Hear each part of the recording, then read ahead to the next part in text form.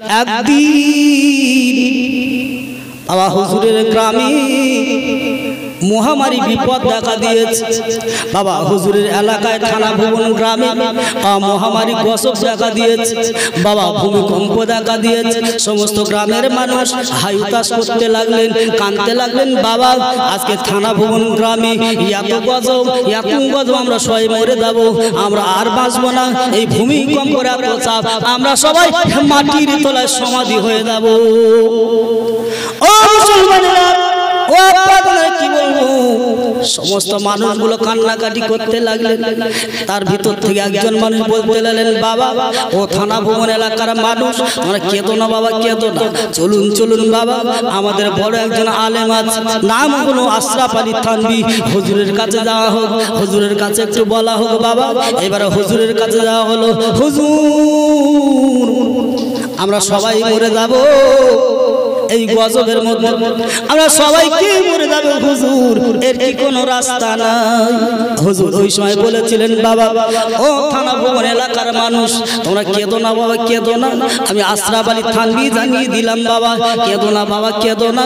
আল্লাহ রাব্বুল আলামিনের নবী, আমার বিশ্ব নবী রহমাতুল্লিন আলামিন হাবিবুল্লাহর শানমান আল্লাহ কতটা বাড়াচ্ছে দেখুন। ও মুসলমানেরা ও আব্বাদানেরা এইবারে আশরাফ আলী থানবি হুজুর বলেছিলেন বাবা, এই মিলাদ নবীর জলসা, এই জলসাটা আমার নবীর বসিলার জলসা, এই জলসার বড় সম্মান, এই জলসা করলি বাবা, আমার নবীর মহাব্বত, ভালোবাসা প্রত্যেকের অন্তরে পয়দা হয়। সবার অন্তরে পয়দা হয়। বাবা, এই যে মিলাদুল নবীর জলসা নাসরুদ্দীপ কেতাবের ভিতরে রেকর্ড করলেন বাবা, এই জলসা যারা করবে বাবা, এই জলসা যারা দেবে বাবা। আল্লাহ রাব্বুল আলামিন এই নবীর জলসার বিনিময়ে ওই সমস্ত গ্রামে যত বাবা, বালা মুসিবত বিপদ আপদ আসে বাবা, সমস্ত বালা মুসিবত আল্লাহ দূর করে দেবে। এই কথা রেকর্ড হয়ে গেল। এইবারে দেখা গেল বাবা কিছুক্ষণ পরে ওই থানা ভুবন গ্রামে বাবা গজবগুলো দূর হয়ে গেল। সমস্ত মানুষগুলো হাত আল্লাহ তোমার না। আল্লাহ বুঝতে পারি না। আল্লাহ কত ভূমিকম্প। আল্লাহ কত গজব আল্লাহ হুজুর আশরাফ আলী থানবি হুজুর আমার নবীর শান ও মান মর্যাদা বাড়ানোর কারণে এই মিলাদুন নবী জলসা, এই জলসা শুধু বড় সম্মানের জলসা। এই জলসা বলার কারণে আল্লাহ পাক রব্বুল আলামিন এই থানা ভুবন গ্রামের সমস্ত গজবগুলো আল্লাহ দূর করে দিয়েছে। একটু জোরে বলুন, সুবহানাল্লাহ।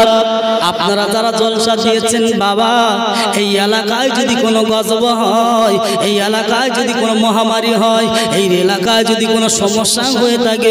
আমার আল্লাহ এই সব বিশ্ব সম্মানের খাতিরে আমার আল্লাহ সমস্ত বিপদ আল্লাহ করে দেবে। আবার সেই জন্য আজকের এই সালে সব বিশ্ব নবী দিবস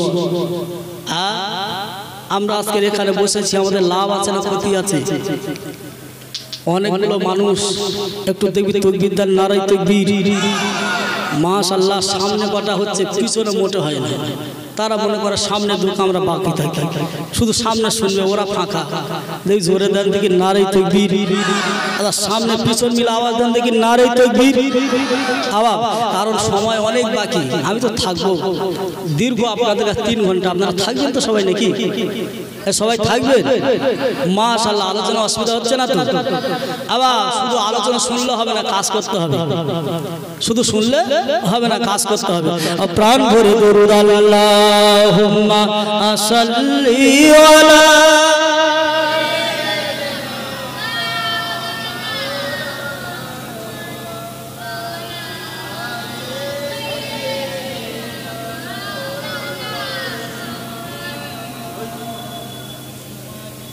রাখাল ছেলের এনো সঙ্গে নদী, এ বকরি চড়াইতে।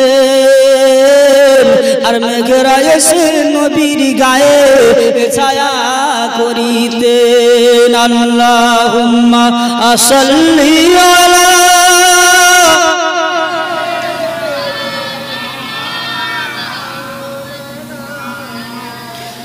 وعلى علي سيدنا مولانا محمد صل على محمد صل على محمد. هر زم زبا سے نکالو پاک نامی محمد اللہم صلی علیہ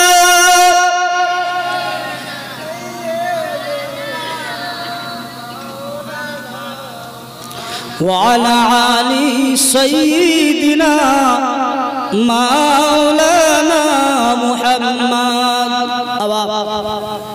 আজকে আমার জলসাটা হচ্ছে কিন্তু ভুল সংশোধন করা।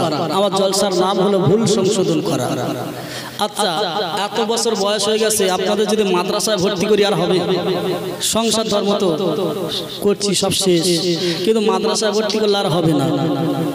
আচ্ছা যারা বয়স্ক যারা জামাতি করে তবলিগ তারা জামাতে গিয়ে কিছু শেখে। ঠিক না? ছোট বাচ্চা যখন হয় তাদের মাদ্রাসায় দিলে কিছু শেখে। আর আপনাদের তো সময় হয়ে গেছে তো আপনাদের তো কোনো জায়গা ভর্তি করলে আর হবে না। আপনাদের এই জায়গা থেকে কিছু কিছু আমল করার জন্য শিখতে হবে। যেটা ভাইজান কাজী সাহেব বলে গেছে ইন্নামাল আমালু বিন্নিয়াত নিয়তের উপর আল্লাহ ফায়সালা করে দেয়। তো আপনারা যদি নিয়ত করে এই জায়গায় বসেন ইনশাল্লাহ এখান থেকে একটা না একটা আমল করব ইনশাল্লাহ তাহলে আমাদের জলসা আর আপনাদের এই নবী দিবস দেওয়াটাই সার্থক তা না ছাড়া সার্থক নয়। আবার আমি তো আখেরি বক্তা নাকি? শেষ বক্তা। কথাই বলে যার শেষ ভালো তার সব ভালো। তো আমি আখেরি আমার বিগত অনেক বক্তা ওয়াজ করেছি। বিভিন্ন কোরআন হাদিস থেকে ওয়াজ করেছি। কিন্তু আপনারা বলেন সেই বক্তা নেমে গেলে আপনাদের কিন্তু কই তাবারক দিয়েছে। তাবারক দিয়েছে। কিন্তু আমি নামবো ইনশাল্লাহ তাবারক হবে। সেদিকে রেডি নামবো খাওয়ার জন্য প্রস্তুত। তো আমি যখন শেষ হয়েছি তাহলে যা শেষ ভালো তার সব ভালো। নামবো ইনশাল্লাহ আপনারাও খাবেন কিন্তু একটা কথা, ওয়াজ সবাই শুনি, কিন্তু আমাদের একটাই অভাব হচ্ছে আমলের অভাব।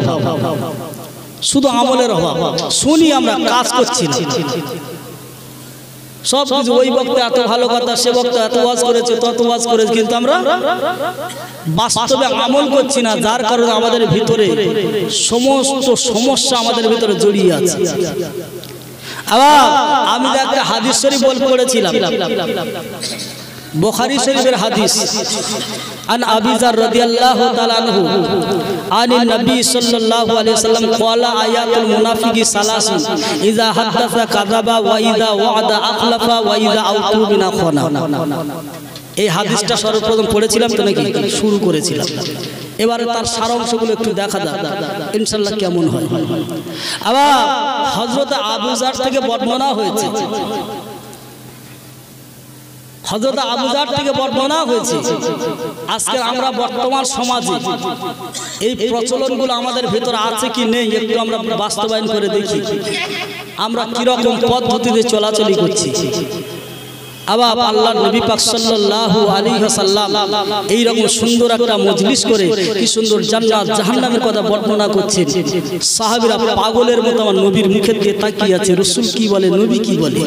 আমার রাসূল ভাই, অসুবিধা হচ্ছে না কে ভাই? বস হ্যাঁ বসে।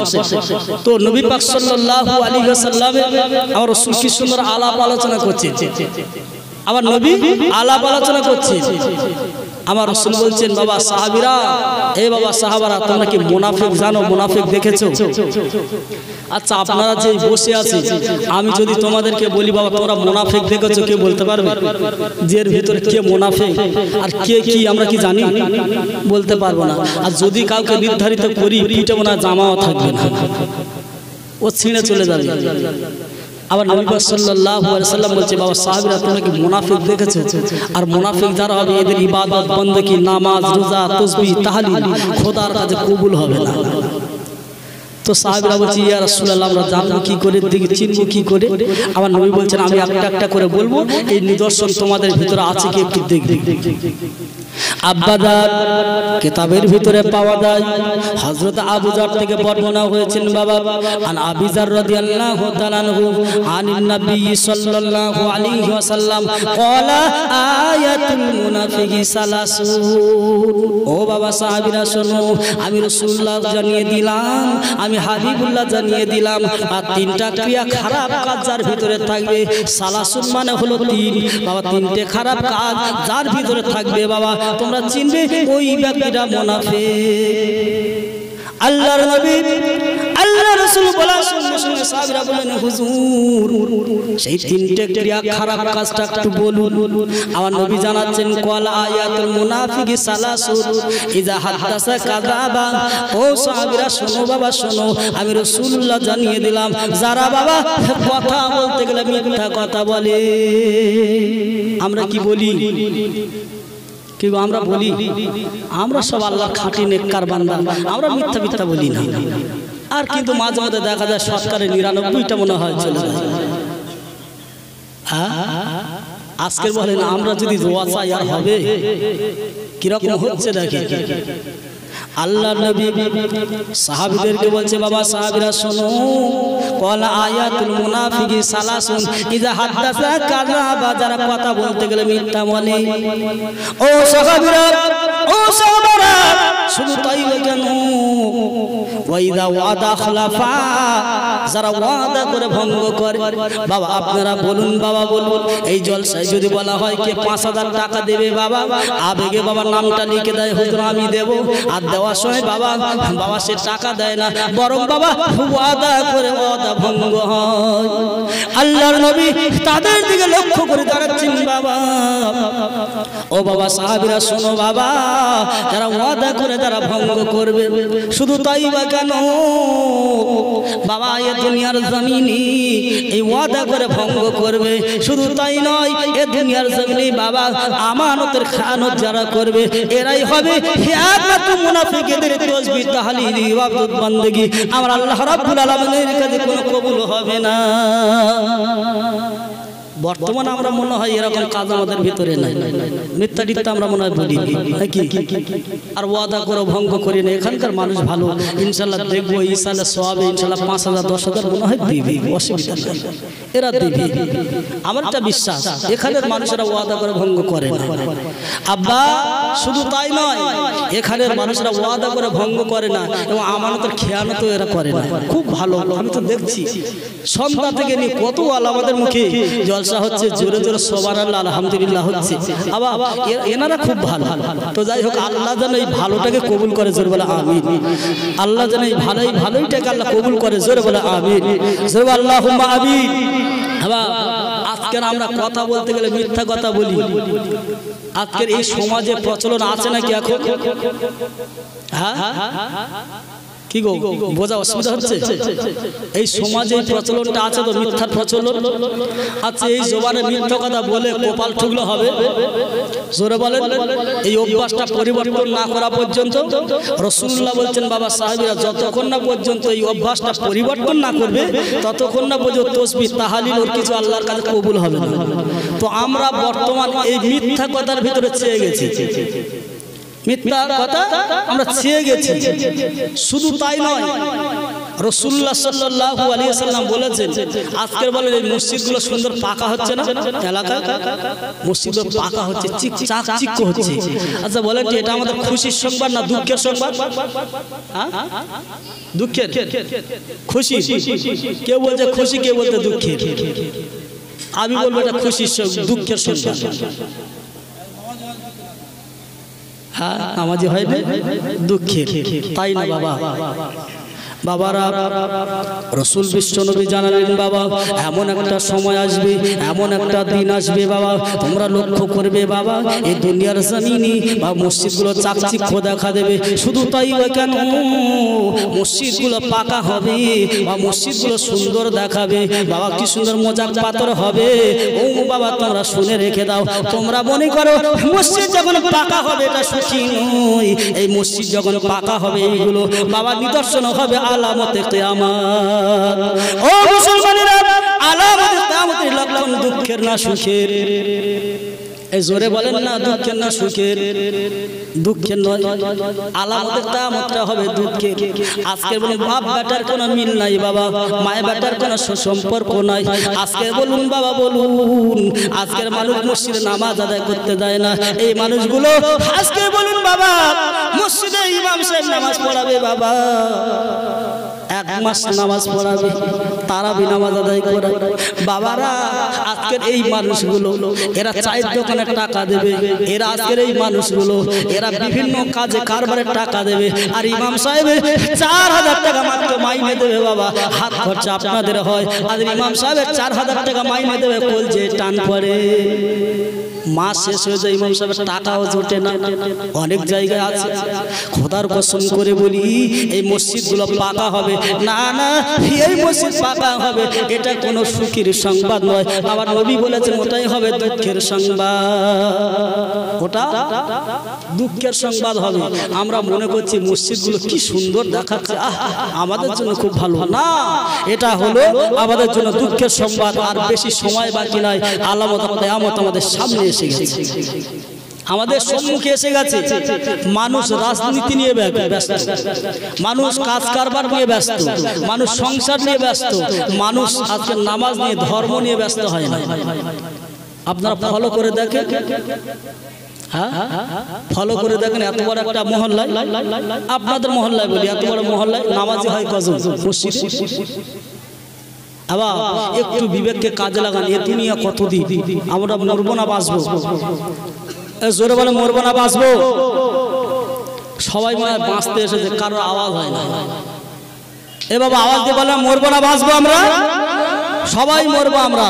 তো মরতে গেলে যখন আমরা মরবো, আল্লাহর কাছে যখন যাব, আমাদের কিছু নিয়ে যাওয়া দরকার আছে না নাই? জোরে বলে, আছে না নাই? আমাদের কিছু নিয়ে যাওয়ার দরকার আছে। আমরা নিয়ে কি যাচ্ছি জানি? আমরা নিয়ে যাচ্ছি শুধু হিংসা। শুধু মনে হিংসা। হিংসা নিয়ে পারিবারিক হিংসা স্বামী স্ত্রী হিংসা বাড়িতে পাড়া প্রতিবেশীর সঙ্গে হিংসা এই হিংসা নিয়ে আমরা বেঁচে আছি।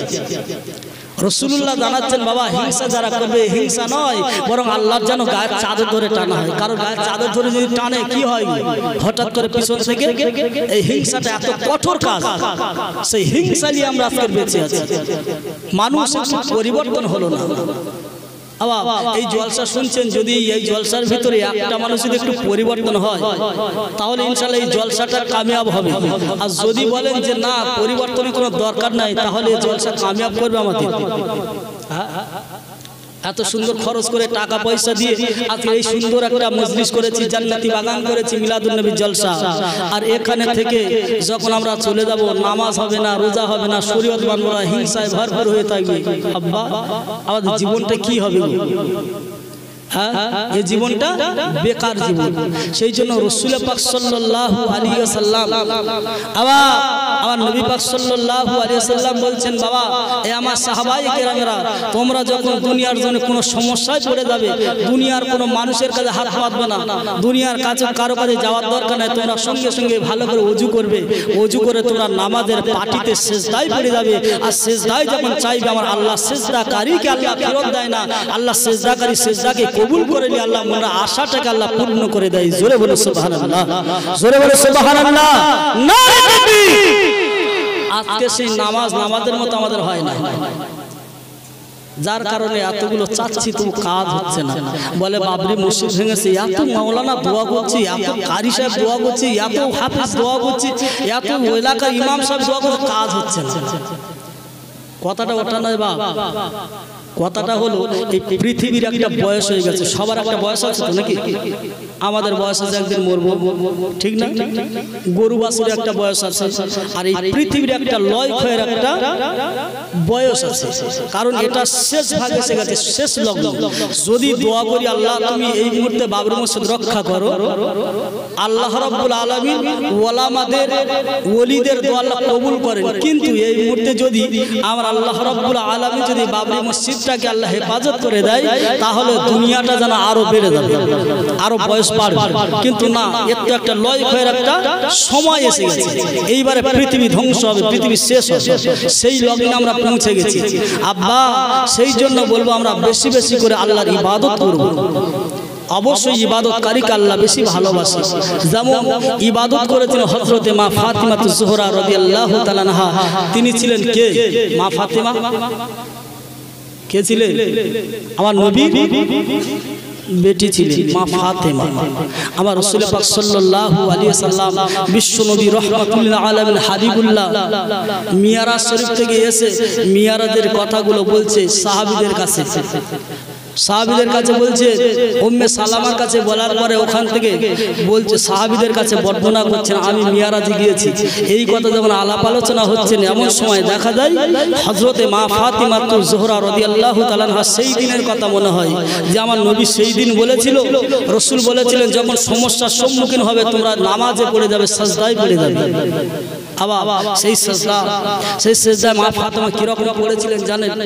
এক তারিখে হজরত ইমাম হাসান হুসাইন দুই ভাই ঈদের নামাজ পড়তে যাবে ঈদের নামাজ।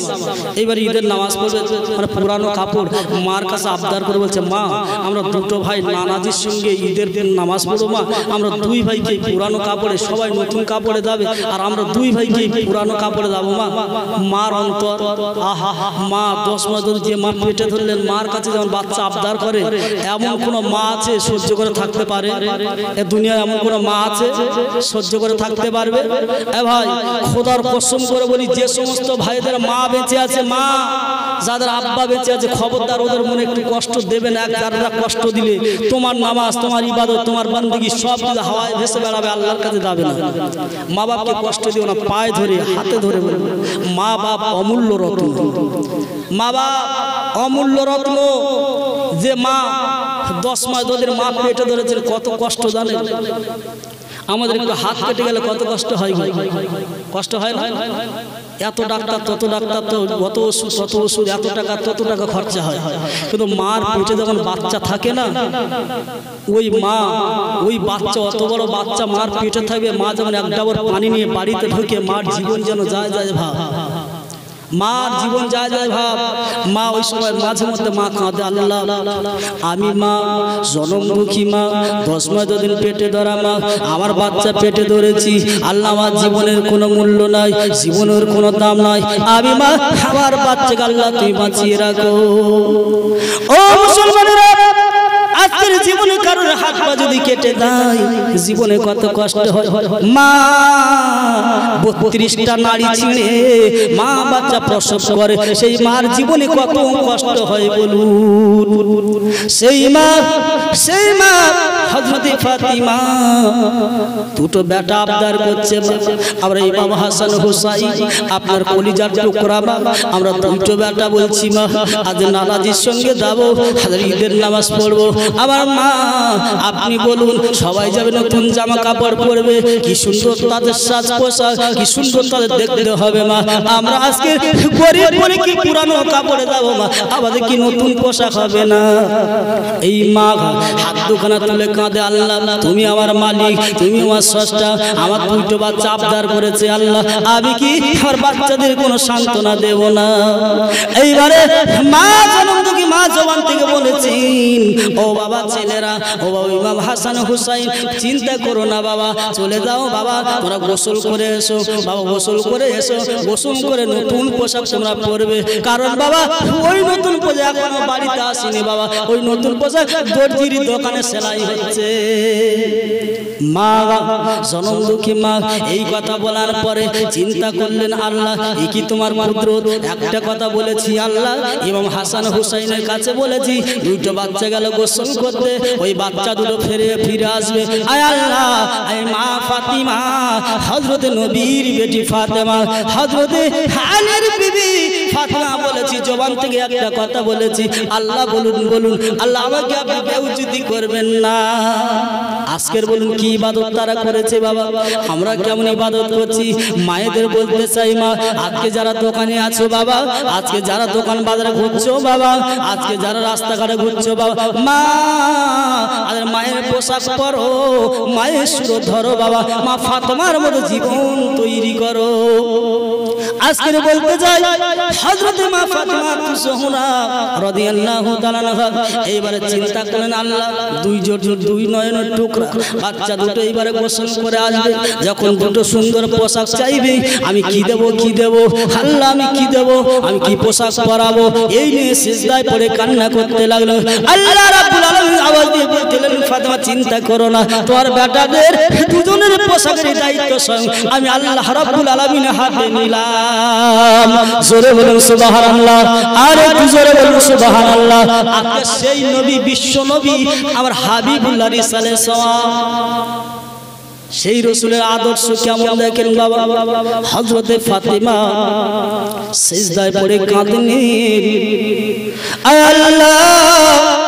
আমি ফাতিমা আমার কলিজা দুটো টুকরা আসবে। আর বাচ্চা নতুন পোশাক নেবে। আল্লাহ, আমি তো বলে ফেলেছি, আল্লাহ বাড়িতে পোশাক নেই কি করব? আল্লাহ বলে ফেলেছি। আল্লাহ, আপনি তোই বলেছেন, যারা প্রকৃত আমার পাগল হয়। আমি আল্লাহ রাব্বুল আলামিন জীবনে তাদের কোনোটা কোনো দাবি ফিরিয়ে দিই না।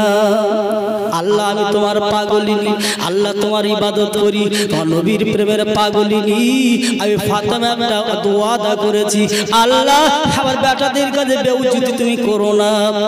আমার আল্লাহ, আল্লাহর কুদরতি কেমন মহিমা দেখি। আল্লাহ বললেন, জিব্রাইল রে, ও জিব্রাইল, আমি আল্লাহ রাব্বুল আলামিন জানিয়ে দিলাম, দাও। আজকের মা দোয়া করেছে, কাদের জন্য জানি? বাবা, বেটার জন্য মা দোয়া করেছে। আমি আল্লাহ জানিয়ে দিলাম যে মা দশ মাস পেটে ধরা মা এই মা যদি কারোর জন্য দোয়া করে বাবা, এই মায়ের দোয়া জীবনে বেকার হয় না বরং আমার আল্লাহ মায়ের দোয়া কারেন্টের মধ্যে কবুল হয়। জোরে বলুন সেই মা ফাতেমা দোয়া করেছে, ও জিব্রাইল, আমি আল্লাহ ভালোবাসিনি বা যাও চলে যাও। আমার ফাতেমার কলিজার দুটো টুকরা ইমাম হাসান হুসাইনের জন্য দুইটা পোশাক নিয়ে চলে যাও। তবে শোনো ও জিব্রাইল! তুই ফেরেস্তার পোশাকে যাবে না। ফেরেস্তার পোশাকে যখন যাবে, আর মা ফাতেমা বেউজ্জিত হবে। ওই ইমাম হাসান হুসাইন দুই ভাই জিজ্ঞাসা করে, মা, বলেছ দর্জির দোকানে আছে।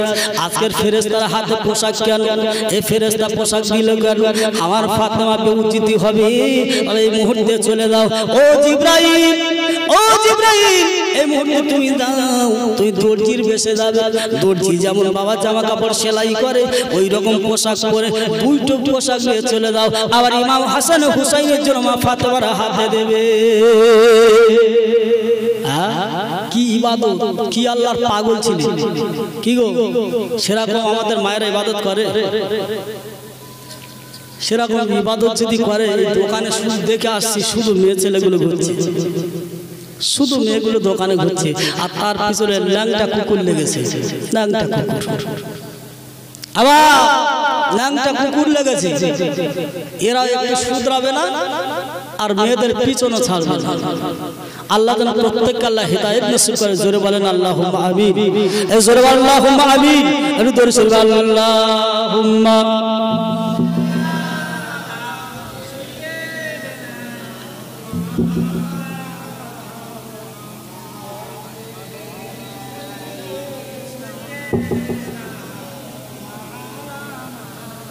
আবার আপনাদের অসুবিধা হচ্ছে নাকি?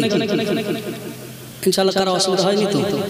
মাশাল্লাহ আব্বা, আমরা কিন্তু এখানে যত আমাদের মধ্যে থেকে কথা শুনব ইনশাল্লাহ আমরা শুনে একটু আমলে পরিণত করার চেষ্টা করব, নাকি? চেষ্টা করব। কারও দেখতে দেখতে ষাট বছর সত্তর বছর কারও চলে গেছে একশো বছরের গায়ে। অনেক বুড়ো বেঁচে আছে। কিন্তু বাপ কতদিন? আর কতদিন? এ দুনিয়া ছাড়তে হবে। এ দুনিয়ার মায়া মহব্বত ছেড়ে জনম জনমের মতো চিরদিনের মতো চলে যেতে হবে। একটু আমরা সেই আল্লাহর মহব্বত আল্লাহর প্রেম যদি আমাদের ভিতরে থাকে অবশ্যই ইনশাল্লাহ আমরা কামিয়াব হতে পারব। তো যে কথা বলছিলাম বাপ হজরতে মা ফাতিমা তো জোহরা রদি আল্লাহ এইবার আল্লাহর কাছে দোয়া করে আল্লাহ বলে জিব্রাই তুমি যদি ফেরেস্তার বেশে চলে যাও, আর ফাতেমা ইমাম হাসান হোসেনের বাচ্চাদের কাছে বেউজিত হবে। আমি আল্লাহ ওটা পছন্দ করিনি, তুমি তবে দর্জির বেশে চলে যাও। আব্বাদার এইবারে বাবা হজরত জিব্রাহিম আলাইসালাম দর্জির বেশে বাবা, এইবার ইমাম হাসান হুসাইন গোসল করে এসে মাকে বলছে, মা মা সনম দুঃখী মা, আমার পেটে ধরা মা, দশ মাস দিন গর্বে ধরা মা, আজকের বলুন বলুন মা, আমরা গোসল করে এসেছি দুটো ভাই। মা, আমাদের নতুন জামাটা দাও। পরে নানা সঙ্গে আমরা তো ঈদের ময়দানে। এইবারে এই কথা মায়ের সঙ্গে বলতে না বলতি বাবা। দরজার গায়ে ঠোকা দিচ্ছি। ইমাম হাসান হুসাইন বাচ্চা দরজাখানা খুলে দিলেন বাবা। এইবার দরজাখানা খুলে দেওয়ার পরে বাবা ওই দুটো বাচ্চা লক্ষ্য করে দেখলেন, আহারে একজন মানুষ। ওই মানুষ দর্জির বেশে সুন্দর বাবা, দর্জির বেশে সুন্দর দুটো জামা। ওই জামা নিয়ে হাসান হুসাইনের বাবা খুশি করার জন্য দিলেন। এই যখন জামাটা হাতে পেলেন, মা ফাতেমা জনমুখী মা ঝর ঝর করে কাজ আল্লাহ হিয়া কি তোমার কুদরতি মহিমা বুঝতে পারিনি আল্লাহ কি তোমার কুদ্র আমি ফাতেমা জবান থেকে বলেছিলাম বাড়িতে জামা নাই। আল্লাহ বাড়িতে কোনো নতুন পোশাক নাই। আমি জবান থেকে বলেছি আল্লাহ আপনি বলেছেন আল্লাহ আল্লাহ আপনি জানিয়ে দিলেন। আল্লাহ আপনি নিজেই ঘোষণা করে দিয়েছ তারা প্রকৃত আমার পাগলিনী হয় আমি আল্লাহ রব্বুল আলামিন তাদের ওয়াদাটা আমি আল্লাহ পূরণ করে দিই। আল্লাহ আপনার কাছে হাত দুখানা তুলেছিলাম নামাজের পাটিতে সজদায় কেঁদেছিলাম আয় আল্লাহ, আমার সম্মান রক্ষার আল্লাহ তুমি দর্জির বেশে জিব্রাইলের হাতে যে পোশাক দিয়েছ। আমি মা কি মা বাচ্চাদের পোশাক পরিয়ে দিয়ে মা আজকের আবার কলিজাটা আমি ঠান্ডা করে নিলাম। জোরে বলুন সুবহানাল্লাহ, আজকের কেমন ইবাদত করেছেন বাবা? আজকের বলতে চাই বাবা, ইয়েজিদ আনসারির মেয়ে, ইয়েজিদ আনসারির মেয়ে, হাদিস শরীফে পাওয়া যায়, ইয়েজিদ আনসারির মেয়ে, নাম হলো আসমা। সমস্ত মহিলাদের তরফ থেকে আসমাকে বলা হলো, বুবু, আপনি চলে যান চলে যান, আর দয়ার নবীর দরবারে যান হাবিবুল্লাহ দরবারে চলে যান। বলে, কি কথা বলব বাবা? কি কথা বলব, বুবু যান বলে, শোনেন শোনেন, আল্লাহ রসুলকে গিয়ে বলবে, আর নবীকে জানাবেন, সমস্ত মহিলাদের তরফ থেকে সর্দার বানিয়ে আপনার কাছে আমাকে পাঠিয়ে দেওয়া হলো। এ হুজুর আপনি বলুন, সমস্ত মহিলাদের ভিতর থেকে আমি এজিদ আনসারির মেয়ে, আমাকে পাঠানো হলো, আসমা আমাকে পাঠানো হলো। হুজুর, আজ ছেলেরা জুম্মার নামাজ পড়ে। ছেলেরা জুম্মার নামাজ আদায় করে শুক্রবার মসজিদে যায়। হুজুর আর মহিলা এই সমস্ত সব থেকে বঞ্চিত। আমরা কি সবের কোনো হকদার হতে পারব না? আবার নবী ওই সময় ডেকে বলেছিলেন মা তুমি শোনো। আমার চিন্তা করো না মা। ছেলেরা মসজিদে নামাজ পড়তে যাবে। এরা জুমার নামাজ আদায় করবে। এরা জামাতে নামাজ আদায় করবে। ও মা তুমি শোনো। সমস্ত মহিলাদেরকে জানিয়ে দেবে। সমস্ত মহিলাদেরকে বলে দেবে যদি, এই যদি নিয়ত করে থাকে, আজ জামাতে সব যদি নেবে, আজ যদি আজ মসজিদে শুক্রবারে যদি সব নেবে, ও মা, তুমি শোনো, সমস্ত মহিলাদেরকে জানিয়ে দাও, ওই মহিলাগুলো ওই মহিলাগুলো বাড়িতে জানো তার নিজের স্বামীর সঙ্গী যেন সৎ ব্যবহার করে। আমার মায়েদেরকে বলা হলো, ওরা যেন স্বামীদের সঙ্গে সৎ ব্যবহার করে। তবে আমাদের মেয়েগুলো এত ভালো, আমাদের বেবিগুলো এত ভালো। যদি গিয়ে বলা হয়, রাত্রে যে একটু পানি দাও। তো এই শীতের সময় যুদ্ধরা শেষ ঠিকানা থাকে না। শীতের সময় গিয়ে যদি বলা হয়, গ্লাস পানি দাও। হাওয়া কত বাড়ি আছে, শুধু মারামারি হচ্ছে আর ঝগড়া হচ্ছে। কোথায় ছিল তুই এত? তাস খেলতেছিলে এসে পানি একটু ঢেলে খাও। আবার হজরতে ইয়েজিদ আনসারি মেয়ে আসমাকে বলা হলো, মা, তুমি চলে যাও। আমার রসুল বলছে, চলে দাও গিয়ে বলে দাও, যদি এই সমস্ত সবের হকদার হতে হয়, সে যেন তার নিজের স্বামীকে যদি ভালোবাসে।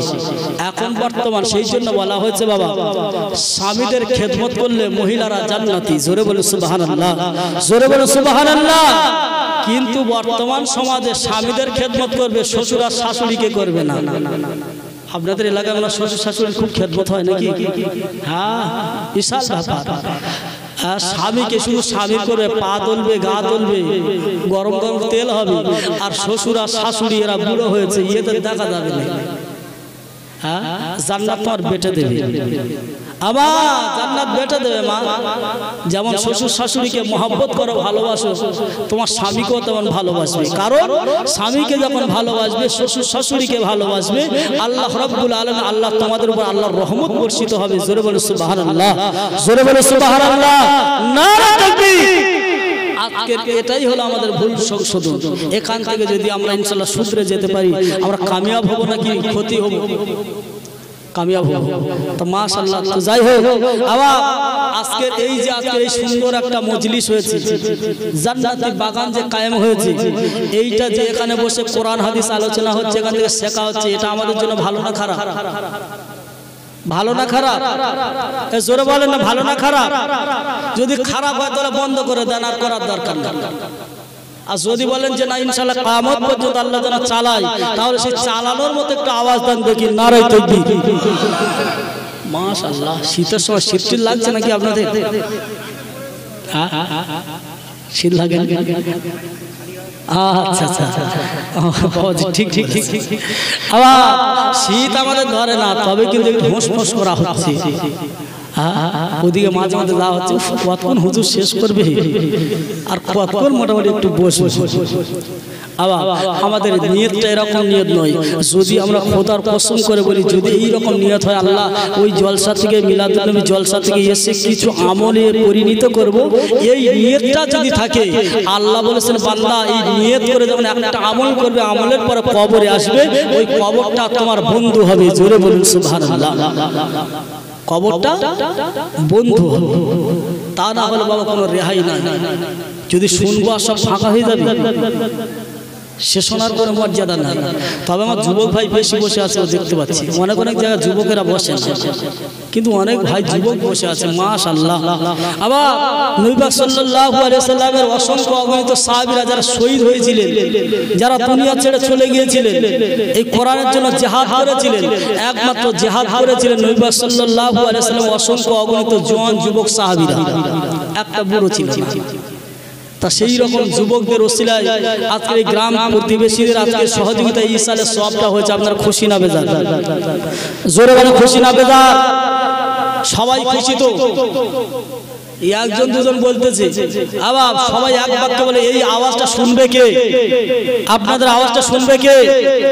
স্বয়ং আল্লাহ শুনবে, আল্লাহর কান আছে না নাই? নাকি আল্লাহ আমাদের মতো কালা পালা মনে হয়? নাউজুবিল্লাহি আল্লাহর কুদরতি কান আছে। আল্লাহর কি কান আছে? কুদরতি কান আছে। আপনারা এখান থেকে আল্লাহ আল্লাহ বলবেন। আর আল্লাহ অবস্থা যদি ওই মজলিসে যদি ইন্তেকাল করেন, খোদার কসম জান্নাতি, জোরে বলুন সুবহানাল্লাহ। তাহলে শুনবে কে? জোরে বলেন কে? তাহলে আমার আল্লাহ সব কিছু আলোচনা, আল্লাহ সব কিছু শুনছে। তো আজকে সেই আল্লাহ রাব্বুল আলামিনকে আজকে? আমরা কিন্তু শুকর আদায় করতে পারিনি বাবা আমরা শুকর আদায় করতে পারিনি। তো যাই হোক, বলার উদ্দেশ্য আমার, এই জলসা নবী দিবসের জলসা ইনশাল্লাহ এই জলসাটা পরবর্তী বছরে হবে তো? হবে। মাশাআল্লাহ। আবার এই জলসাটা পরবর্তী বছরে হওয়ার জন্য আপনাদের কাছে একটু আবেদন করব। আপনারা বলেন তো দেখি সবাই এক বাক্যে আমার রসুল্লাহ বিশ্ব নবীকে যে জলসা দিয়েছেন, এই রসুলকে কে মনে প্রাণে ভালোবাসেন একটু হাত তুলে। মনে প্রাণে কে ভালোবাসে? না রে তকবীর না রে তকবীর। কেউ কেউ হাত নামাচ্ছে, হাত নামাবে না, একটু সাক্ষী আল্লাহ জিবরিলকে সাক্ষী রেখে বলেন না রে তকবীর না রে তকবীর। আল্লাহ যেন এই হাত থেকে কবুল করেন, জোরে বলে আমি আল্লাহ যেন এই হাত থেকে কবুল করে, জোরে বলে আমি আমরা কিন্তু সবাই এক বাক্যে বলেছি, আল্লাহকে ভালোবাসি, রসুলকে ভালোবাসি। ঠিক না? আচ্ছা আমি কিন্তু একটু কোষ্টি পাথর একটু ঘষবো। জানেন না? সোনা কিনতে গেলে সোনা গো, সোনা। সোনা কিনতে গেলে কি করে বলেন তো দেখি? আসল কি নকল? কোষ্টি পাথর একটু দেখে। আপনারা নকল না আসল, আমি দেখব যারা উঠে যাচ্ছে তারা সব নকল। সব নকল, শুধু বলে পালাচ্ছে। বুঝতে পারছেন না? সব নকল। আবার শুধু মুখে বলছে, রসুলকে ভালোবাসি। গিট গিটি মার্কার মতো সুরত ধরেছে। গিরগিটি দেখেছে গিরগিটি দেখেছে গিরগিটি। এরা গিরগিটির মতো সুরত ধরে বসে আছে। হুজুর যখন একটা কথা বলে শুধু কয়েক তো আমি আপনাদেরকে একটু ঘষতে চাই ঘষে ঘষে দেখব যে কে প্রকৃতপক্ষে আসল সোনা আর কে প্রকৃতপক্ষে নকল চায়না সোনা। চায়না সোনা হলে বা, যদি কারও চায়না সোনা দেয়, নকল সোনা দেয়, সে সেগরার কি হয় বলেন তো, বদনাম হয় না? বদনাম হয়। আবার ড্যাংরা যদি কোনো মানুষ হয়, যে দুমদাম লাগায়। দুমদাম লাগায়। হ্যাঁ? নিজ টাকা দিয়েছি, আবার নকল সোনা দিয়েছি।